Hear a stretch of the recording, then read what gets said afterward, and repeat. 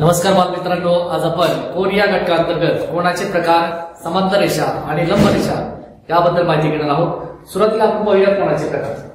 तर कोणाचा पहिला प्रकार आहे त्याचं नाव आहे काटकोण याची व्याख्या आपल्याला अशी करता येईल. ज्या कोणाची माप नव्वद अंश असते त्या कोणास काटकोण असे म्हणतात. तर ज्या कोणाचं माप नव्वद अंश आहे त्या कोणाला प्रमाणाचे काटकोण या ठिकाणची कोणाची आकृती आहे कोण? एबीसी कोण? एबीसी या कोणाचं माप आहे नव्वद अंश. ही जी खूण या ठिकाणी केली आहे ही काटकोणाची खूण असते ज्या ठिकाणी आपल्याला माप दिलेलं नसेल आणि हे जर कोण केलेली असेल तर त्या कोणाला म्हणतात आपला काटकोण यानंतर कोणाचा दुसरा प्रकार आहे लघुकोण लघु म्हणजे लहान. लहान असणारा कोण? मग तो कोण कशापेक्षा लहान असतो? तर ज्या कोणाचं माप नव्वद अंशापेक्षा कमी असते त्या कोणास लघुकोण असे म्हणतात. म्हणजेच काटकोणापेक्षा लहान असणारा जो कोण आहे त्याला म्हणायचं आपल्याला लघुकोण या ठिकाणची कोण पी क्यू आरची आकृती पहा.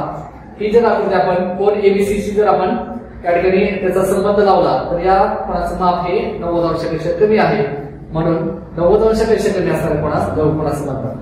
त्यानंतर तिसरा प्रकार आहे विशाल कोण? ज्या कोणाचे माप नव्वद अंशापेक्षा जास्त असते त्या कोणास विशाल कोणाचे म्हणतात? विशाल म्हणजे मोठा. मग काटकोणापेक्षा मोठा जो कोण आहे त्याला म्हणतात त्याला विशाल कोण? या ठिकाणी बघा एक्स वाय झेड ही कोणाची आकृती आहे? एक्स वाय झेड कोण आणि एबीसी कोण? याचा जर आपण सहसंबंध बघितला तर एक्स वाय झेड हा कोण? एबीसी या कोणापेक्षा मोठा आहे. म्हणजेच नव्वद अंशापेक्षा मोठा असणाऱ्या कोणाला आपल्याला म्हणायचे विषाणू यानंतर आपण पाहूया समांतर रेखा.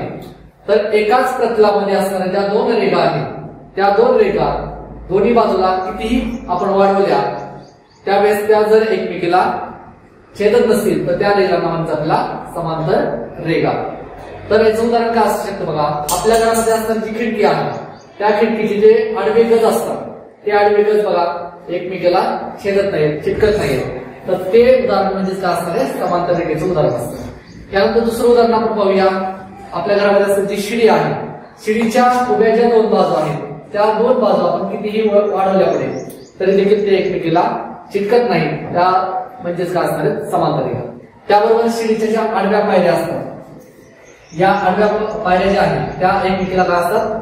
समांतर असतात. म्हणजेच एका प्रतलामध्ये असणाऱ्या दोन रेखा कितीही वाढवल्या त्या जर एकमेकाला छेदत नसतील तर त्याला म्हणतात त्याला समांतर रेखा त्यानंतर आहे लंब रेखा तर त्याची व्याख्या बघा. जेव्हा दोन रेखा एकमेकीशी नव्वद अंश मापाचा कोण करतात तेव्हा त्या दोन रेखांना परस्परांना लंब आहे असे म्हणतात. म्हणजेच काय बघा नव्वद अंश म्हणजे काय आला? काटकोणाला तर काटकोणामध्ये बघा एक बाजू आहे बीसी आणि दुसरी बाजू आहे बी या दोन रेगा एकमेकांना नव्वद अंशामध्ये छेदतात. म्हणजेच बघा रेगा बी आणि रेगा ए बी या परस्परांना काय लंब आहे. या ठिकाणी एक आकृती काढली आहे. मैदानावर उभा केलेला जो खांब आहे मग तो कोकोचा खांब असेल.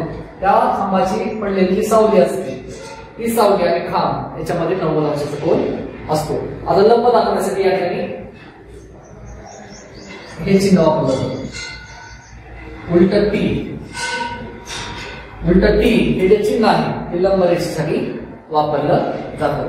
तर आज आपण कोणाचे प्रकार आणि त्याबरोबर समांतर रेखा आणि लंब रेखा याविषयी माहिती घेतलेली आहे.